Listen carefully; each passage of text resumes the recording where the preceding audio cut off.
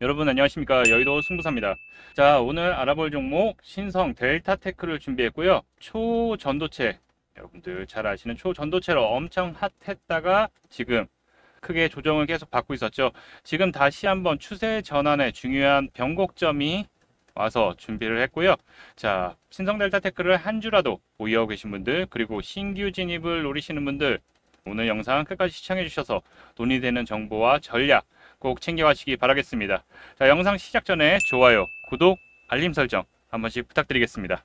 자, 신성 델타테크 같은 경우는 작년도부터 벌써 핫했죠.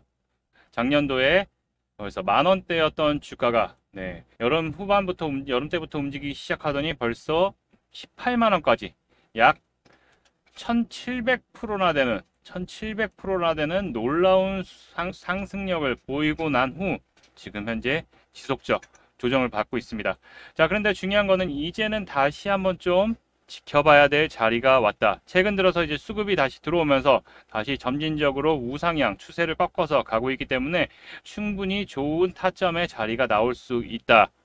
자, 그러면서 최근 들어서 초전도체 관련주들의 움직임이 조금 보였는데요. 바로 독일의 에어버스가 초전도체 활용 전기 추진 시스템을 개발하면서 정확하게 연관은 없습니다. 근데 초전도체 활용이라는 이슈만 나오면 초전도체 관련주들이 들썩이죠. 그러면서 기술 시범기 공개를 했다라고 이슈가 나온 거죠. 최근 모비스 네, 초전도체 실험 설비 제어 시스템 개발 착수 이슈가 나오면서 고자기장 견뎌낼 시험 설비 제어 기술 확보 추진 한국 에너지공대 전략적 제휴 이런 이슈들이 계속 나오면서 다시 한번 초전도체에 대한 네, 이슈가 다시 한번 불어들고 있기 때문에 또 초전도체 부분에서 먼저 또 움직임을 가져간 종목이 바로 있었죠. 신성 델타테크의 자회사인 신성 ST 이 부분도 초전도체 플러스 네, ESS 저장 장치 이슈를 받으면서 최근 다시 한번 급등의 모습을 보였습니다. 자, 다시 신성테크로 델타테크로 돌아와서요.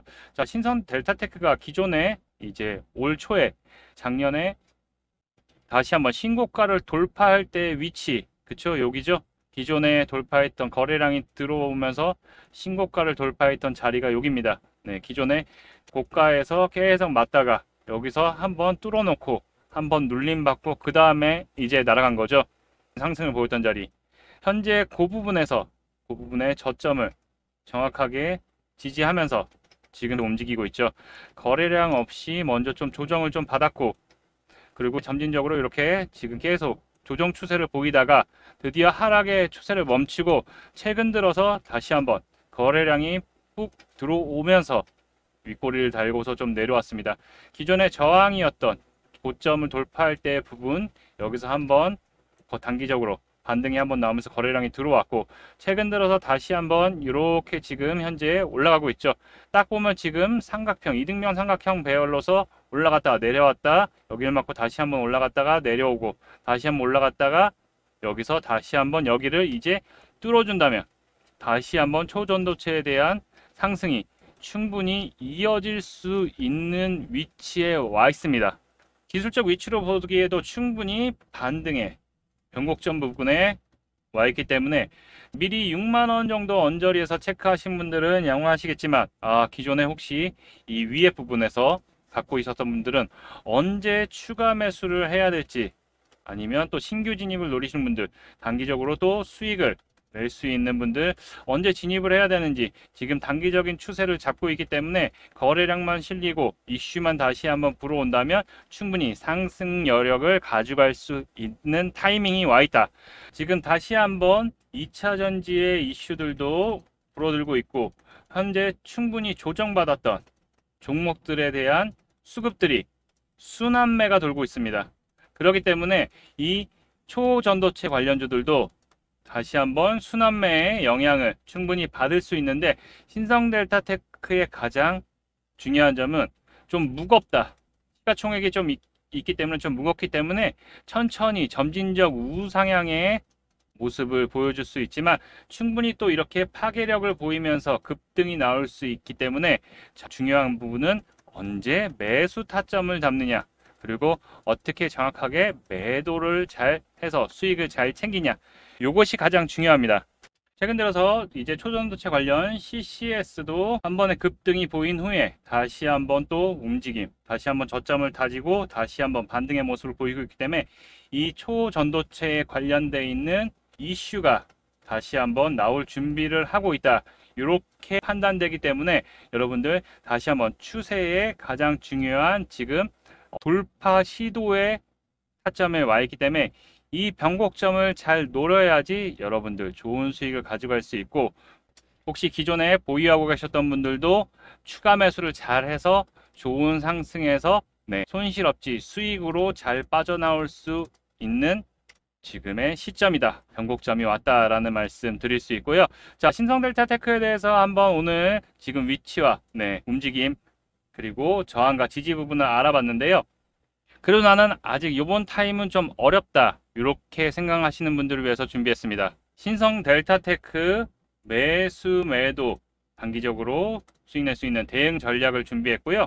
언제 사야 되는지 아니면 언제 추가 매수를 해야 되는지 네, 이 부분과 함께 이 언제 단기적으로 봤을 때 1차 단기적으로 그리고 좀 스윙으로 봤을 때 2차 매도 시점이 언제인가 이 부분까지 이 전략 자료집 안에 다 정리를 해 두었으니까요. 여러분들은 이 전략 자료집만 있으면 이 신성 델타 테크에 대해서 좋은 수익을 낼 수 있을 텐데요. 우리 구독자분들을 위해서 무료로 제공을 해 드릴 텐데 신청하시는 방법 안내해 드리도록 하겠습니다. 영상에 좋아요 한 번씩 클릭해 주시고요. 여기 상단에 있는 전화번호 010 8178에 922 8177에 아 8178에 922로 010-8178-9225로 신성 델타 테크의 신성이라고 요 신성 두 글자만 문자 보내주시면 제가 이 대응 전략 자료집 보내드릴 테니까요. 여러분들 이 전략 자료집 받으셔서 단기적으로 수익 낼 수 있도록 그리고 혹시 기존에 보유하고 계신 분들은 네, 잘 빠져나오실 수 있도록 도와드릴 테니까요. 많은 신청 부탁드리겠습니다. 자, 그리고 여러분들을 위해서 하나 더 이벤트를 준비했는데요. 바로 카카오톡 공부방 이벤트를 준비했습니다. 여러분들 영상에서 나오는 종목들 실시간 대응 그리고 영상에서 다 말씀드리지 못하는 단기적으로 급등하는 종목들 네, 이런 종목들 그리고 직장인분들도 편안하게 할 수 있는 스윙 대박주들을 제가 안내를 해드리고 있는데요. 자 무료로 신청 가능합니다. 바쁜 직장인들 주식 초보 손이 느리신 분들은 무조건 아 난 수익이 잘 안 나라고 하신 분들 주식 투자 고민이시면 무조건 신청 하시면 좋으실 것 같고요. 여유롭게 매수하시고 편안하게 매도해서 수익은 여러분들 겁니다. 신청하시는 방법은요. 영상에서 좋아요, 구독 한 번씩 눌러주시고요. 여기 보이는 번호 010-8178-922로 010-8178-922로 주식이라고 두 글자만 문자 보내주시면 이 공부방 링크 보내드리니까요. 여러분들 꼭 010-8178-922로 함께 하고 싶으신 분들 무료로 제공을 해드리고 있으니까 주식이라고 두 글자 남겨주시면 되고요. 여러분들 좋아요, 구독 눌러주시면 채널 확장에 성장에 도움이 되니까 많은 도움 부탁드리겠습니다.